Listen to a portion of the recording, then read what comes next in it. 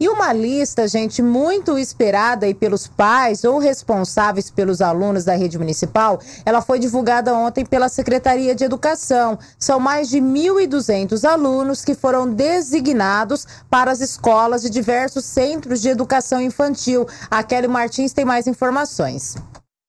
As aulas na rede municipal de ensino serão retomadas no dia 1 de março e a Secretaria de Educação divulgou a primeira lista dos novos alunos designados para as escolas municipais. A lista também inclui crianças de 0 a 3 anos de idade e que deverão ser matriculadas nos Centros de Educação Infantil, os CEIs. A lista inclui ao todo 1.253 estudantes. A relação dos estudantes nessa primeira etapa foi dividida em três grupos: educação infantil, pré-escola e ensino fundamental.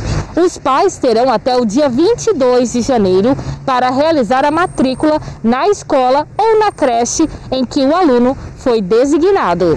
E para a efetivação da matrícula, os pais devem levar alguns documentos, como cópias da certidão de nascimento, CPF, comprovante de residência com CEP, carteira do SUS, carteira de vacinação se for para educação infantil, transferência ou declaração, também documento do responsável. A Rede Municipal de Educação informou que os pais que ainda não buscaram vagas nas escolas e creches devem participar da segunda etapa da pré-matrícula, que encerra em 29 de janeiro. O procedimento pode ser feito pela internet no site da Prefeitura de Três Lagoas. Quem realizar a pré-matrícula nesse período receberá a lista de designação em 4 de de fevereiro.